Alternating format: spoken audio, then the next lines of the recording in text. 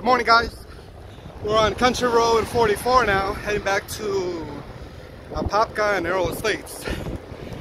We went up to Sorrento, over to a little bit into Sanford, and are just coming back. We're doing about a 32 mile loop, getting ready for the weekend, where we're gonna do about a 60 mile loop. Enjoying this freshly paved road, and now we're about to turn left on Country Road 46A. Okay, talk to you guys later.